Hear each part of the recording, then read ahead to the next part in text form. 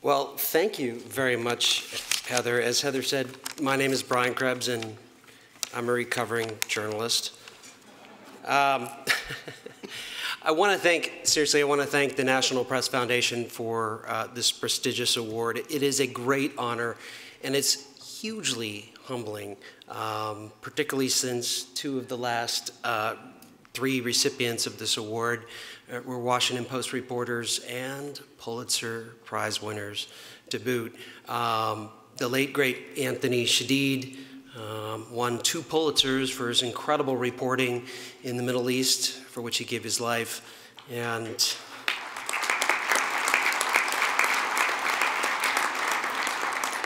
And, and, Colbert King uh, won a Pulitzer for his lucid and tireless editorials at the Washington Post. Uh, he's done some fantastic work.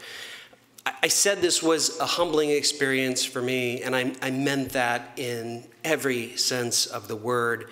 Um, prior to my getting a real job at the Washington Post, I was a, a copy aide for about four or five years.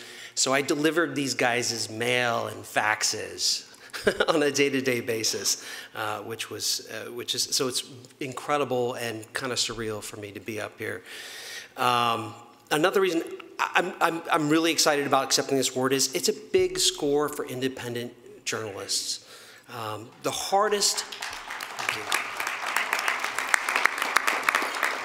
the absolute hardest thing about being independent, especially if you go from being in a major newsroom, is you know, making that phone call to an important person, an important organization, and saying, yeah, it's just me. And they go, oh, what news organization you? Yeah, it's just me. Sorry about that.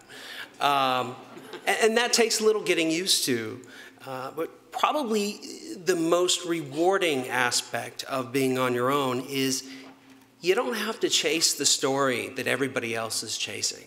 You know, you get the time and the space uh, to, to really chase the stories that matter. And if you're, if you're lucky enough, you get other reporters to chase your stories. Um, ever since I left the Post, I've worked very hard to convince some of my more uh, dissatisfied or, dare I say, disillusioned colleagues at different uh, newsrooms out there to go out on their own. And really, uh, you know, I've watched some of my best friends in, in different newsrooms having to take unpaid uh, furloughs to keep their jobs. Uh, they're having to do a lot less with more.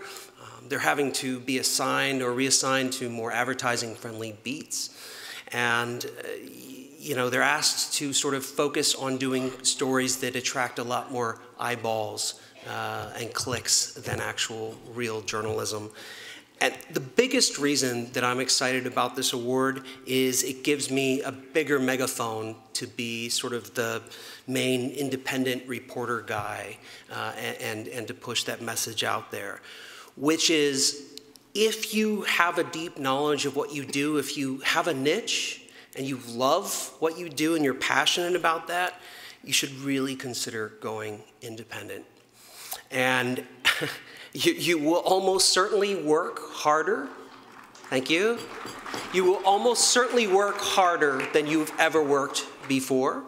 Uh, but I think you'll probably be happier, probably be wealthier, and you'll still be producing fantastic journalism if you're doing it right.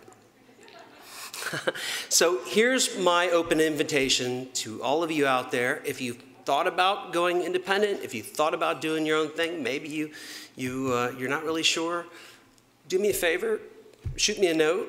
My website, krebsonsecurity.com. I am more than happy to talk with any of you about the failures, the successes, all of it. And uh, once again, I want to thank the NPF for having me here uh, and, and for this wonderful honor. I want to thank my amazing uh, business manager, AKA Mrs. Krebs, who's seated in the middle of the room, uh, who's had to put up with an unbelievable amount of crap on my behalf over the last five years. And uh, I want to thank you all for having me here. Cheers.